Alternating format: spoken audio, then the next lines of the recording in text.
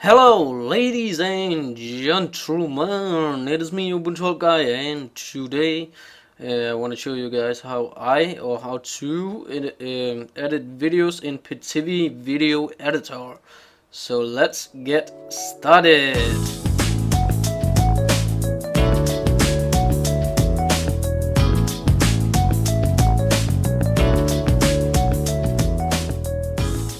Now, first off, uh, we actually got it open up. Pitivi video editor very tough thing to do but uh, we got to do it.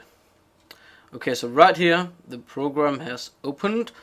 So uh, it says welcome and we press new obviously. Okay let's see here.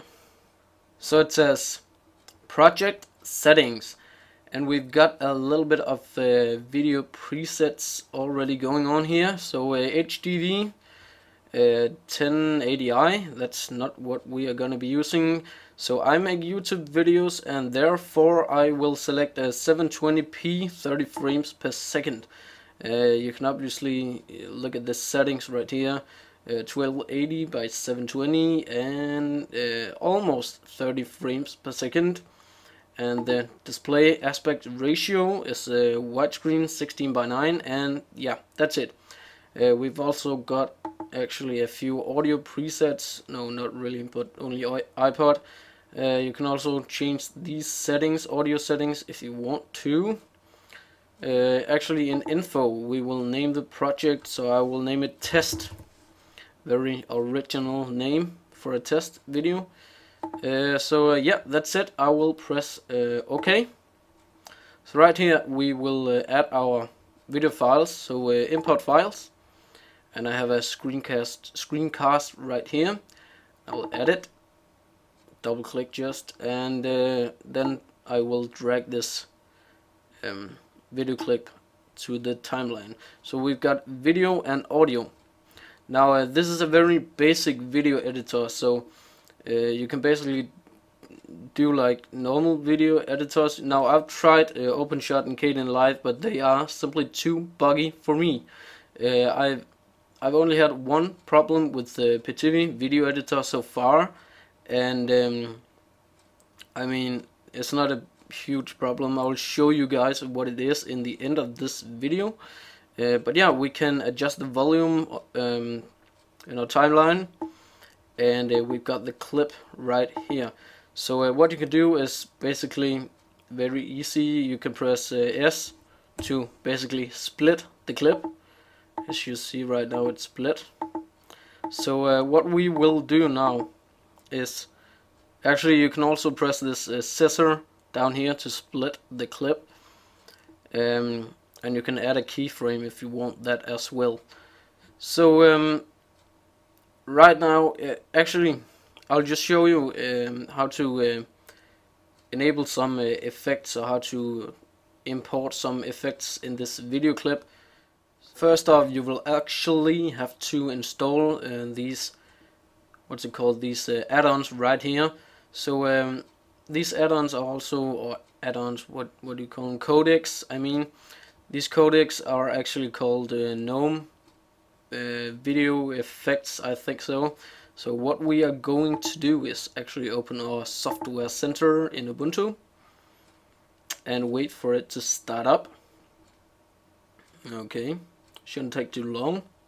So right here we uh, type in GNOME video effects. Uh, right here GNOME video effects. So uh, this GNOME video effects right here is basically these two things, frei0r thing and Numpy. Um, so uh, what you got to do is install this GNOME video effects um, and that's basically it. So when we're back here at Pitivi Video Editor, we click on this Effect uh, tab, Effect right Library tab right here, and we've got a ton of effects if you want to add some effects, you can obviously just take it and drag it down on your clip. So like I said, it's basically very, very simple to do stuff here in uh, Pitivi. Obviously, we can also adjust our clips just by doing this. and of course also at the other end if you want to. Now if you want to undo an effect again you click right here in your clip configurations uh, window and then effect and right here it says you have added the mirror effect all you do is uh, click it and uh, remove effect and that's basically it. So like I said, this is a very basic video editor, nothing fancy at all. Now the only bug I have noticed in Pitivi, and I've used Pitivi a lot. I use, like I said before, I use it to edit my vlogs and stuff like that. So, um, so the only problem I've had uh, with Pitivi so far, the only bug, is actually when I have this clip right here and I want to drag it into this clip to make a cool fading effect fade in and fade out you'll notice there'll uh, uh, be these kind of effects symbols right here. So when I click this thing right here as you see the um, I don't know what it's called the moving thing right here. It doesn't do anything at all. Well I can still do stuff in uh, Pitivi but this thing is just yeah it's just stuck there. Uh, so so this was the video just a quick uh, video showing you how to uh, do stuff in Pitivi uh, not anything fancy just to uh, show you guys how easy it actually is and um, just to tell you guys that I really do prefer uh, Pitivi over OpenShot and uh, Kdenlive because they're just too buggy for me so that's it. Have a nice day, and I will catch you guys later. Bye.